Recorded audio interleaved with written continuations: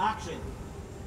Alligators usually, you know, like find places that are not necessarily in the wild to establish their nests and to lay their eggs in the middle of that kind of um, uh, mud and, and, and, and decaying uh, material that just bring up the temperature enough for the, uh, for the egg to, to uh, hatch at some point. Because it does explain why these alligators have been so aggressive. Because in general, alligators aren't really aggressive. But when you get around their nest, they are. So we could justify why they're attacking and why they're so fierce.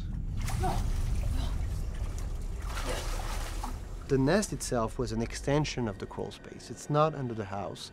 It's more like in the land in between the lake and the crawl space. It's a natural mud cave and we had this kind of mud texture on the wall with those roots coming from everywhere.